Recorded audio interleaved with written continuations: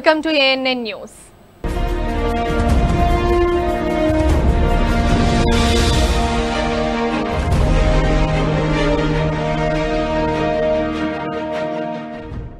నిన్న రాత్రి కురిసిన వర్షానికి అనంతపురం జిల్లా బ్రహ్మసముద్రం మండలం బైర సముద్రంలోని చెరువు నిండడంతో గండిపడింది. విషయం తెలుసుకున్న నియోజకవర్గం ఎమ్మెల్యే ఉషశ్రీ చరణ్ స్పందించి హుటాహుటిన గండిపడిన ప్రదేశాన్ని పరిశీలించారు. నీరు వృధా కాకుండా తక్షణమే గండిని పూడ్చి చర్యలు చేపట్టాలని ఇరిగేషన్ అధికారులను ఆదేశించారు.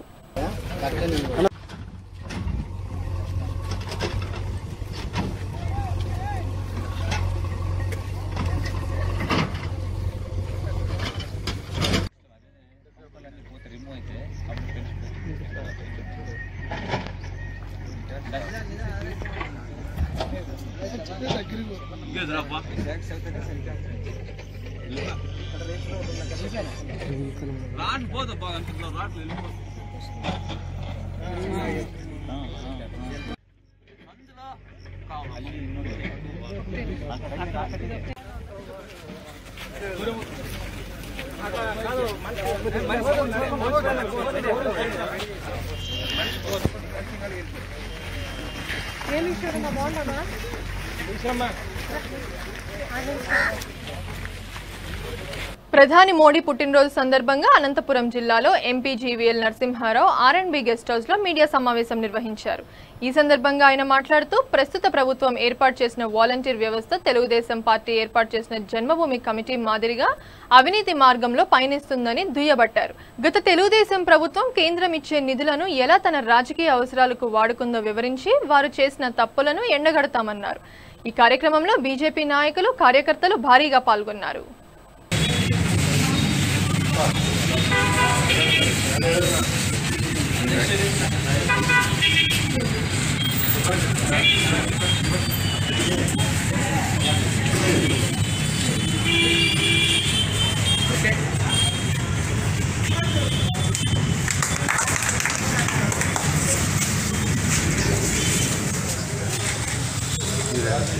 అందరికీ నమస్కారం. ప్రియతమ ప్రధాని నరేంద్ర మోదీ గారి జన్మదినోత్సవ సందర్భంగా దేశవ్యాప్తంగా భారతీయ జనతా పార్టీ సేవా కార్యక్రమాలు చేపట్టాలని నిర్ణయం చేయటం. దానిలో భాగంగానే నేను ఈ రోజున అనంతపురం జిల్లాకు రావటం జరిగింది. రాజకీయాలంటే కేవలం పార్టీలను అధికారంలోకి తీసుకురావటానికి చేసేటువంటి కార్యక్రమమే కాదు.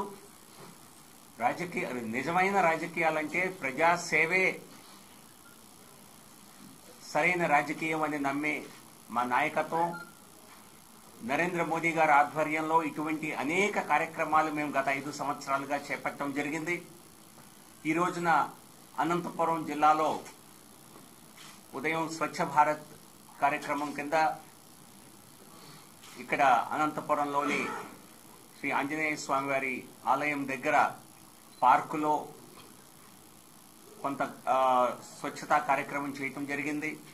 అక్కడ స్థానికుల అభ్యర్థన మేరకు ఎందుకంటే అక్కడ ఏ రకంగా పార్కుని కూడా అస్తవ్యస్తంగా చేసి దాన్ని అన్ని రక అనేక రకాల అక్రమాలకు వాడుకుంటోంది అక్కడ స్థానికులు చెప్పటం వలన ఈ కార్యక్రమం చేపట్టడం జరిగింది. అలాగే వైద్య శిబిరం అని రా- జిల్లాలో డెబ్బై ఐదు ప్రాంతాలు డెబ్బై ఐదు స్థానాల్లో వైద్య శిబిరాలు నిర్వహించి స్థానిక ప్రజలందరికీ కూడా మరి పరీక్షలు నిర్వహించి బీపీ బ్లడ్ షుగర్ వంటివి అవన్నీ పర్యవేక్షించి వారికి సరైనటువంటి ఆరోగ్య సూచనలు చేయటానికి మరి డాక్టర్ల సహకారంతో ఇదంతా కార్యక్రమం చేపట్టడం జరుగుతోంది. క్యాన్సర్ టెస్టింగ్ కూడా దీనిలో క్యాన్సర్ స్క్రీనింగ్ కూడా చేయటం జరుగుతోంది. డెబ్బై ఐదు ప్రాంతాల్లో. సో ఇటువంటి కార్యక్రమాలు దేశవ్యాప్తంగా చేస్తున్నాం. అనంతపురం జిల్లా దేశంలోనే కేవలం ఆంధ్రప్రదేశ్లో కాదు దేశంలోనే చాలా ఒక రకంగా చెప్పాలంటే వర్షాభావం వలన వెనుకబడిన ప్రాంతంగా గుర్తించబడిన జిల్లా.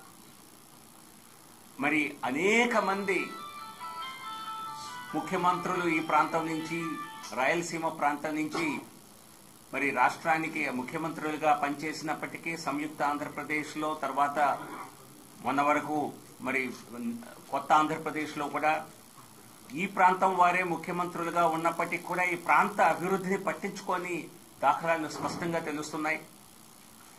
అనంతపురం జిల్లా గురించి నాకు ముందుగానే చాలా విషయాలు తెలుసు. ఈ రోజున కొన్ని విషయాలు మరిన్ని కొన్ని విషయాలు తెలుసుకొని నిజంగా ఆశ్చర్యం వేసింది. ఈ ప్రాంతం కేంద్ర ప్రభుత్వం నరేంద్ర మోదీ గారి ప్రభుత్వం మరలా అధికారంలోకి వచ్చాక చేపట్టినటువంటి ఒక ఒక మహోత్తరమైనటువంటి కార్యక్రమం. అది జల్శక్తి అభియాన్ అని చెప్పి నీటి వసతులు ఇంటింటికి కుళాయి ద్వారా మరి పైప్ వాటర్ సప్లై ఇవ్వాలి అన్న ఒక పెద్ద లక్ష్యం. ఇది సాధారణమైనటువంటి లక్ష్యం కాదు.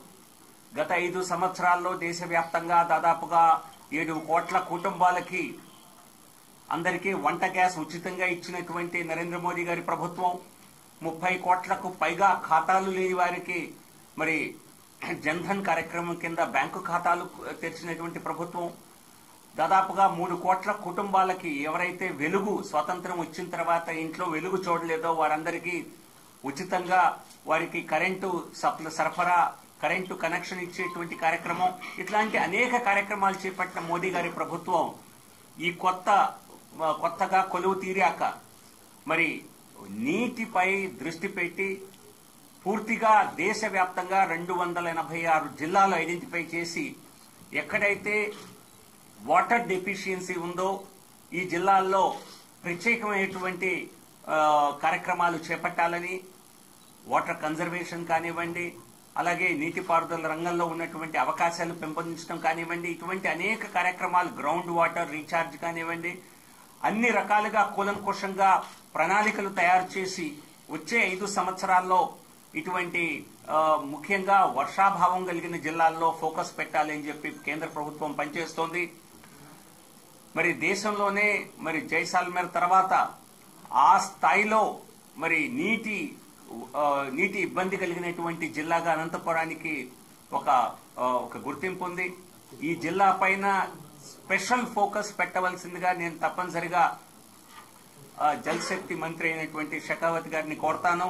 రాయలసీమ ప్రాంతం అలాగే వెనుకబడిన జిల్లాల్లో ఇటువంటి ఫోకస్ పెట్టాలని నేను గతంలోనే ఆయన అభ్యర్థించడం జరిగింది. వచ్చే నెలలో దేశవ్యాప్తంగా అక్టోబర్ రెండు తర్వాత మహాత్మా గాంధీ నూట యాభైవ జన్మదిన సందర్భంగా దేశవ్యాప్తంగా భారతీయ జనతా పార్టీ పార్లమెంటు సభ్యులందరూ కూడా పాదయాత్ర కార్యక్రమాలు చేపట్టాలి ప్రజా సమస్యలపైన చేపట్టాలి అని చెప్పి ప్రధాని గౌరవ ప్రధాని మోదీ గారు మా అందరికీ భారతీయ జనతా పార్టీ పార్లమెంట్ సభ్యులందరికీ సూచించడం జరిగింది. దానిలో భాగంగా నేను మన రాష్ట్రంలో పాదయాత్ర చేపడుతూ దానిలో ప్రత్యేకంగా వర్షాభావం కలిగిన ప్రాంతాల్లో ఎక్కడైతే రైతు సమస్యలు ఎక్కువగా ఉన్నాయో ఏ ఏ ప్రాంతాల్లో అయితే రైతులు మరి తమను తాము కాపాడుకోలేక ఆత్మహత్యకు కూడా గురై బలైనటువంటి ప్రాంతాలు ఏవైతే ఉన్నాయో ముఖ్యంగా ఆ ప్రాంతాలనే ఎంచుకొని అక్కడే పాదయాత్ర నిర్వహించాలని చెప్పి నేను నిర్ణయించుకున్నాను. తప్పనిసరిగా అనంతపురం జిల్లాలో కొత్త ప్రభుత్వం రాష్ట్రంలో వచ్చాక కూడా దాదాపుగా యాభై మంది ఆత్మహత్యకు గురైనారన్న విషయం విని నిజంగా చాలా బాధగా ఉంది. కాబట్టి ఇటువంటి జిల్లాలపైన నీటి వర్షాభావం కలిగిన జిల్లాలపైన ప్రత్యేక ఫోకస్ పెట్టవలసిన అవసరం ఉన్నది. వరుసగా దాదాపుగా అరవై సంవత్సరాల్లో నలభై ఎనిమిది సంవత్సరాలు కరువు ప్రాంతంగా అనంతపురం గుర్తించబడిందని మా పార్టీ నాయకులు చెప్పారు. సో దాదాపుగా ప్రతి సంవత్సరం కరువుకు గురయ్యే ప్రాంతాన్ని ఎందుకు అనేక ప్రభుత్వాలు నిర్లక్ష్యం చేశాయో తలుచుకుంటేనే నిజంగా మరి ప్రజా సమస్యల పట్ల సరైనటువంటి దృక్పథం వారికి లేదు అన్న విషయం తప్పనిసరిగా స్పష్టంగా అర్థమవుతోంది. నేను ఒక పార్లమెంటు సభ్యుడిగా వేరే రాష్ట్రం నుంచి ఎన్నుకోబడినప్పటికీ ప్రధానంగా ఆంధ్రప్రదేశ్ రాష్ట్ర సమస్యలపైనే నేను దృష్టి పెట్టి పనిచేస్తున్నాను. సో రాయలసీమ జిల్లాలకి అలాగే వెనుకబడిన జిల్లాలకి అలాగే కొంత నిర్లక్ష్యానికి గురైనటువంటి జిల్లాలకి ప్రత్యేక శ్రద్ధ చూపించి వారి పట్ల వారికి అభివృద్ధికి నా వంతు కృషి చేయాలని నేను గతంలోనే చెప్పాను. నా వంతు కృషి చేస్తున్నాను కూడా. ఈ సంవత్సరం ఇక్కడ వ్యవసాయ పరిస్థితులు చూస్తే చాలా ఇబ్బందికరంగా బాధాకరంగా ఉన్నాయి. ఇక్కడ ఈ సరైనటువంటి వర్షాభావం కారణంగా వర్షాలు లేని కారణంగా రైతులు ఈ సంవత్సరం ఇక్కడ వేరుసంట పంటను కూడా పంటను కూడా వేసే పరిస్థితులు లేకుండా పోయింది. నాకు తెలిసి ఇక్కడ ఇతర పంటల్లో కూడా టొమాటో రైతులు కూడా సరైన ధర లేక ఇబ్బంది పడుతున్న విషయం స్పష్టంగా తెలుస్తోంది. ఈ సమస్యలన్నింటినీ వీటికి తాత్కాలికంగా వెంటనే ఎటువంటి పరిష్కారం రాష్ట్ర ప్రభుత్వం చేయాలి చేస్తున్నామని చెప్తున్నారు. అలాగే కేంద్ర ప్రభుత్వం కూడా దీర్ఘకాలిక ప్రణాళికల ద్వారా ఇటువంటి సమస్యలు మరలా మరలా కలగకుండా ఎటువంటి ఉపాయాలు చేయొచ్చు అన్న దానిపైన తప్పనిసరిగా నా వంతు ప్రయత్నం చేస్తాను.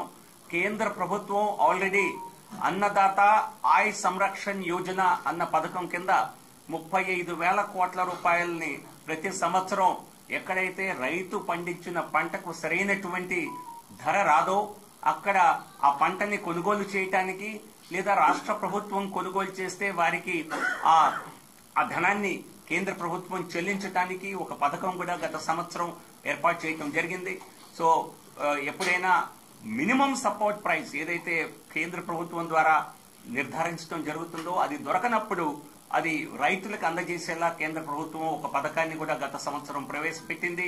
మరి గత ప్రభుత్వం తెలుగుదేశం ప్రభుత్వం దాన్ని పూర్తి స్థాయిలో సరిగ్గా ఉపయోగించలేదు. ఇప్పుడు ఆ కారణాల్లోకి వెళ్ళవలసిన అవసరం లేదు. కాకపోతే కొత్త ప్రభుత్వం వీలున్న చోట్ల ఎక్కడైతే మద్దతు ధర ఉన్నదో అక్కడ సరైన ధర లభించని పక్షంలో మరి రైతు పక్షాన నిలిచి కేంద్ర ప్రభుత్వం నుంచి కూడా సహాయం కోసం ప్రయత్నిస్తుందని నేనైతే ఆశిస్తాను. అటువంటి ప్రయత్నాల్లో మా వంతు కృషి కూడా చేస్తాం. అలాగే రాష్ట్ర ప్రభుత్వం కూడా ఈ మధ్య మరి ఐదు వందల కోట్లు అనుకుంటాను. మరి స్టెబిలిటీ ప్రైస్ స్టెబిలైజేషన్ ఫండ్ కింద మేము ఇస్తామని చెప్పింది. ఆ నిధి నుంచి తప్పనిసరిగా ఇక్కడ జిల్లాలోని టొమాటో రైతులకి ఉపశమనం కలిగించాలని వారి వారి రాష్ట్ర ప్రభుత్వాన్ని నేను అడుగుతున్నాను. అలాగే కేంద్ర ప్రభుత్వం గత ప్రభుత్వ కాలంలోనే పన్నెండు కోట్ల రైతు కుటుంబాలకి ప్రతి కుటుంబానికి సంవత్సరానికి ఆరు వేల రూపాయల చొప్పున సహాయ నిధి ఇవ్వాలి అని చెప్పి వారికి కిసాన్ సమ్మాన్ నిధి అన్న పేరుతో ఆరు వేల రూపాయలు ప్రకటించడం జరిగింది. ఎన్నికల్లో గెలిచి వచ్చాక దీన్ని అందరి రైతులకి వర్తింపజేసింది. అంతకుముందు ఇది కేవలం చిన్న సన్నకారు రైతులకు మాత్రమే ఉంది. దీన్ని రైతులందరికీ వర్తింపజేస్తూ కేంద్ర ప్రభుత్వం అధికారంలోకి వచ్చిన మొదటి కేబినెట్లోనే నిర్ణయం చేసింది. అలాగే రైతులందరికీ పెన్షన్ పథకాన్ని కూడా ఈ కేంద్ర మా కేంద్ర ప్రభుత్వం మోడీ గారి ప్రభుత్వం అనౌన్స్ చేయడం జరిగింది. ఈ రకంగా అన్ని వర్గాలకి చెరువుగా ఉండేట్లుగా ప్రభుత్వం పనిచేస్తోంది. రాష్ట్ర ప్రభుత్వం కూడా తాను చేసినటువంటి ప్రామిసెస్ నిలబెట్టుకోవాలని రాష్ట్ర ప్రభుత్వాన్ని కూడా మేము అడుగుతున్నాము. ఇక చూస్తే ఇక్కడ నాకు తెలిసిన కొన్ని విషయాలు చూస్తే నిజంగా మరి రాష్ట్ర ప్రభుత్వ దగ్గర ఈ సమాచారం ఉన్నదో లేదో తెలియదు లేకపోతే నిజంగా మరి ప్రజా వ్యతిరేకతని రాష్ట్ర ప్రభుత్వం కూడా ఎదుర్కోవాల్సి వస్తుంది. వాలంటీర్ల వ్యవస్థని ఏదైతే కొత్తగా ప్రభుత్వం తీసుకొచ్చిందో ఈ వాలంటీర్ల వ్యవస్థ జన్మభూమి కమిటీల వ్యవస్థ మాదిరిగానే మరి ఏదో ఒక రకంగా ప్రజల దీనిలో అవినీతిని పెంపొందించేలా తయారవుతోంది అన్నటువంటి సమాచారం వస్తోంది. ఇది తప్పనిసరిగా దీన్ని అరికట్టకపోతే తెలుగుదేశం పార్టీ ఎటువంటి పరిణామాలను ఎదుర్కోవాల్సి వచ్చిందో ప్రస్తుత ప్రభుత్వం కూడా వైఎస్ఆర్ కాంగ్రెస్ ప్రభుత్వం కూడా అటువంటి పరిస్థితులనే చూడవలసి వస్తుంది. ఎందుకంటే వాలంటీర్లు కూడా ఇదే పద్ధతిలో మరి ప్రజల్ని ఇబ్బంది పెడుతున్నారని వారి నుంచి ఏదన్నా ఆశిస్తే గాని వారికి దానిలో ప్రజలకు చేరువయ్యే లభ్య వారికి చేరువయ్యే బెనిఫిట్స్లో మాకంటూ కొంత ఇస్తే గాని మేము చేయమని చెప్తున్నారన్నటువంటి విషయాలు బయటకు వస్తున్నాయి. రాష్ట్ర ప్రభుత్వం గనక పూర్తిగా మరి దీనిపైన సరైనటువంటి నియంత్రణ గనక చేయలేకపోతే తీవ్రమైనటువంటి ప్రజా వ్యతిరేకతని ఈ ప్రభుత్వం కూడా ఎదుర్కోవాల్సి వస్తుంది. ఈ నెల ఇరవై ఆరున నియోజకవర్గ స్థాయిలో జరగనున్న దళిత సదస్సును విజయవంతం చేయాలని ప్రతి ఒక్కరూ తమ బాధ్యతగా హాజరు కావాలని అంబేద్కర్ యోజన సంఘం కరీంనగర్ జిల్లా అధ్యక్షులు సముద్రాల అజయ్ అన్నారు. ఈ సందర్భంగా దళిత సదస్సు పోస్టర్ను ఆవిష్కరించారు. అనంతరం వారు మాట్లాడుతూ దేశవ్యాప్తంగా దళితుల మీద జరుగుతున్న అణచివేతలు దాడులపై దళిత ప్రజల్ని అప్రమత్తం చేయడానికి అంబేద్కర్ యోజన సంఘం రాష్ట్ర అధ్యక్షులు గజ్జల కాంతం ఆధ్వర్యంలో ప్రతి జిల్లాలో నియోజకవర్గ వ్యాప్తంగా సమావేశం నిర్వహించడం జరుగుతుందన్నారు. ఈ దళిత సదస్సును విజయవంతం చేయాలని మండల వ్యాప్తంగా అధిక సంఖ్యలో హాజరు కావాలని పిలుపునిచ్చారు.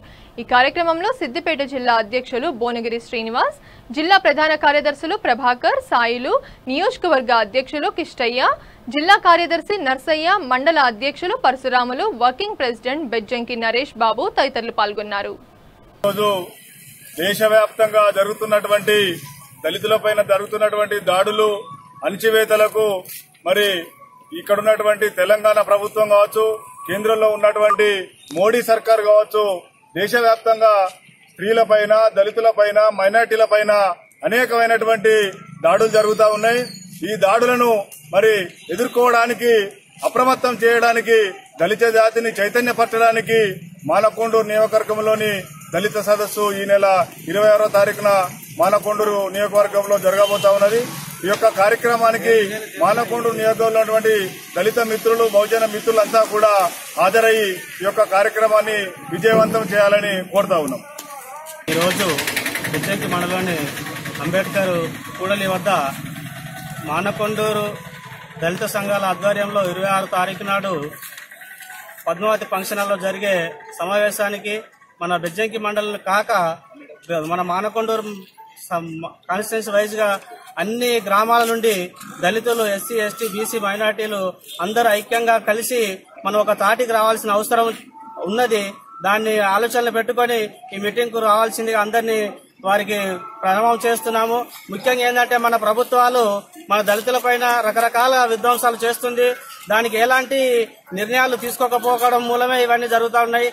ఎమ్మెల్యేను కూడా సైతంగా చూడకుండా దూరం ఉంచే ప్రసక్తి మనం చూస్తూనే ఉన్నాము. సోషల్ మీడియాలో ఎన్నో రకాలుగా అంబేద్కర్ విగ్రహాలు దోషం చేయడము పైన విద్యార్థుల విద్యార్థులపైన ఎన్నో రకాల సంఘటనలు మనం చూస్తున్నాము.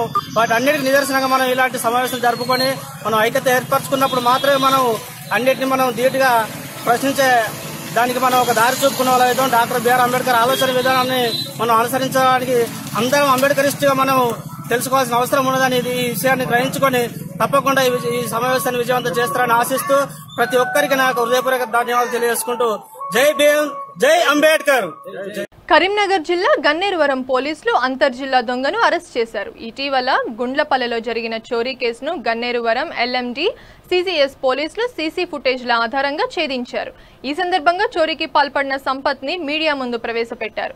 అనంతరం ఏసీపీ ఉషారాణి మాట్లాడుతూ మంచిర్యాల జిల్లా బెజ్జల గ్రామానికి చెందిన సంపత్ హైదరాబాద్ సైబరాబాద్ రాచకొండతో పాటు మంచిర్యాల కరీంనగర్ వరంగల్ జిల్లాల పరిధిలో ముప్పై ఆరు దొంగతనాలకు పాల్పడ్డాడని ఇందులో పద్నాలుగు కేసుల్లో శిక్ష పడగా ఐదు కేసులు కోర్టు పరిధిలో ఉన్నాయన్నారు ఈ నెల పద్నాలుగవ తేదీన గన్నేరువరం మండలం గుండ్లపల్లెకు చెందిన భీమ్రెడ్డి వీరారెడ్డి ఇంటికి తాళం వేసి ఉండగా సంపత్ ఇంటి తాళాలు పగలగొట్టి బంగారు ఆభరణాలు నగదును కాజేశాడు బాధితుడి దగ్గర నుండి ఫిర్యాదును తీసుకున్న పన్నెండు గంటల్లోనే సీసీ ఫుటేజ్ల ద్వారా నిందితుడిని గుర్తించి పట్టుకున్నామన్నారు దొంగను పట్టుకున్న పోలీసులను ఏసీపీ ఉషారాణి అభినందించారు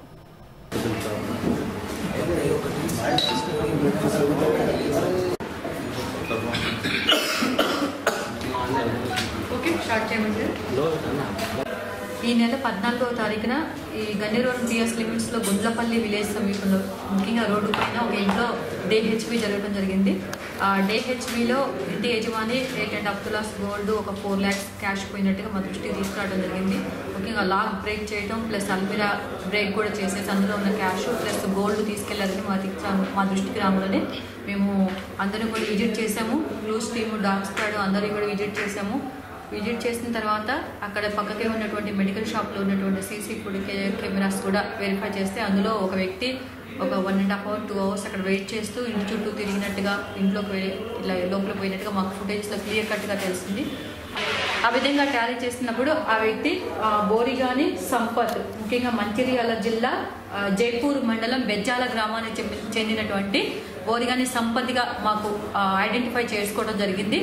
ఆ తర్వాత ఆ ఫొటోస్ తీసుకొని మా యొక్క క్రైమ్ టీమ్స్ ముఖ్యంగా సీసీఎస్ టీము ఏఎస్ఐ వీరయ్య గారు మళ్ళీ ప్లస్ పీసీలు గన్నేరువరం స్టాపు అలాగే గన్నేరువరం ఎస్ఐ గారు అందరూ కలిసి కూడా ఆ ఫొటోస్ ఆధారంగా ఈరోజు రేణికుంట టోల్ ప్లాజా దగ్గర అవతల వెహికల్ చెకింగ్ చేస్తూ ఉన్నప్పుడు ఈ సంపత్ ఒక బండి మీద పోతున్నట్టుగా గుర్తించడం జరిగింది. వెంటనే అతని కస్టడీలో తీసుకొని ఒకసారి వెరిఫై చేస్తే అతని దగ్గర eight and half tolas gold ఏదైతే ఇక్కడ హెచ్ మన దొంగతనం కేసులో పోయిందో అది దాంతోపాటు ఒక రెండు వేల క్యాష్ ఒక సెల్ ఫోను అది గుర్తించడం జరిగింది. అలాగే అతను వేసుకున్నటువంటి వస్తున్నటువంటి ప్రయాణిస్తున్నటువంటి వెహికల్ కూడా సీజ్ చేయడం జరిగింది. సో అతన్ని ఈరోజు రిమైండ్ చేస్తున్నాము. నెక్స్ట్ యాక్చువల్లీ ఈ కేసులో ఇక ప్రాపర్టీ క్యాష్ రికవరీ చేయాల్సి కాకుండా పీడీ యాక్ట్కి ప్రపోజల్స్ కూడా పంపించడం జరుగుతుంది. కరీంనగర్ జిల్లా మానకొండూరు మండల కేంద్రంలో రవాణా శాఖ డీటీసీ శ్రీనివాస్ ఆధ్వర్యంలో ఐఎస్ఓ స్వచ్ఛంద సంస్థ ఉచిత లెర్నింగ్ లైసెన్స్ లాట్ బుకింగ్ నమోదు కార్యక్రమాన్ని నిర్వహించారు. ఈ సందర్భంగా వారు మాట్లాడుతూ మండల కేంద్రంలో ఉచిత లెర్నింగ్ లైసెన్స్ లాట్ నమోదు కార్యక్రమాన్ని చేపట్టామని ఈ కార్యక్రమం ముఖ్య ఉద్దేశం దళారులను ఆశించకుండా ప్రజలు యువత యువకులు లైసెన్స్ను నేరుగా పొందవచ్చన్నారు. కొన్ని స్వచ్ఛంద సంస్థల ఆధ్వర్యంలో ఇలాంటి అవగాహన కార్యక్రమాలు చేపడుతున్నామని అలాగే కేంద్ర ప్రభుత్వం కొత్త రవాణా శాఖ చట్టాన్ని తీసుకువచ్చినందున భారీ చలాన్లకు గురికాకుండా ఉండేందుకు ఉపయోగపడుతుందన్నారు.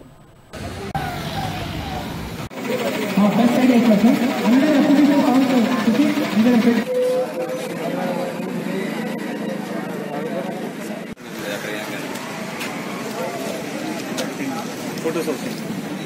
ఆధ్వర్యంలో ఈరోజు మానకొండూరులో ఎల్ఎల్ఆర్ స్మార్ట్ బుకింగ్ మేళా పెట్టడం జరిగింది.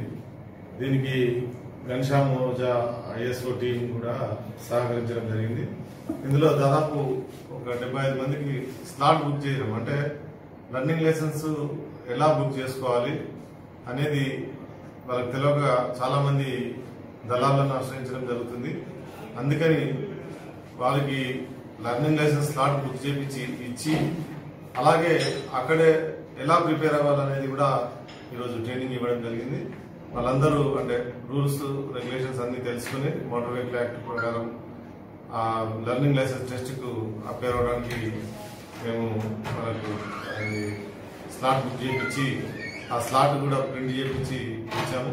అంటే అక్కడ బుక్ చేయించిన తర్వాత వాళ్ళు ఆ ప్రింట్అవుట్ తీసుకెళ్ళి మీ సేవలో ఫీజు కట్టుకుని ఆ ఏ రోజుకైతే స్లాట్ బుక్ చేసుకున్నారో ఆ రోజు ఆర్టీఓ ఆఫీస్కి వచ్చినట్టయితే వాళ్ళు టెస్ట్ అపియర్ అయ్యి వాళ్ళు లెర్నింగ్ లైసెన్స్ ఇవ్వబడదు. దాని తర్వాత పర్మనెంట్ లైసెన్స్ కొరకు వాళ్ళు ట్రైనింగ్ తీసుకుని అంటే బండి నేర్చుకుని మళ్ళీ వచ్చినట్లయితే పర్మనెంట్ లైసెన్స్ ఇస్తాం ముఖ్యంగా ఏంటంటే ఈ కొత్త మోటార్ వెహికల్ చట్టం వచ్చిన తర్వాత మరి ఫైన్లు కూడా చాలా ఉన్నాయి. అలాగే ఫైన్లే కాకుండా ఏదైనా ఇన్సిడెంట్ జరిగినప్పుడు చట్టపరంగా ఎన్నో ఇబ్బందులకు గురవుతారు కాబట్టి మరి లైసెన్స్ అందరు తీసుకొని ఈ ప్రొవిజన్ను ఉపయోగించాలని కోరుతున్నాను.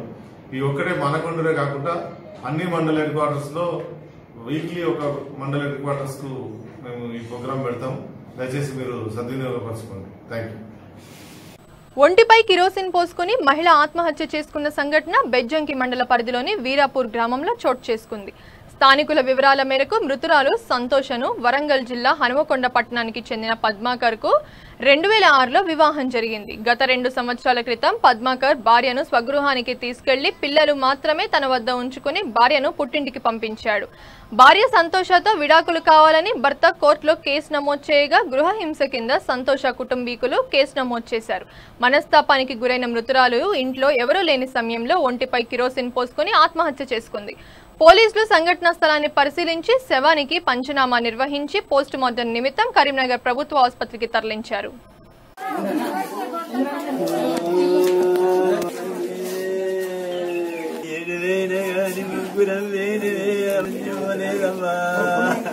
ఇవి ఇప్పటివరకున్న అప్డేట్స్ చూస్తూనే ఉండండి ఏఎన్ఎన్ న్యూస్.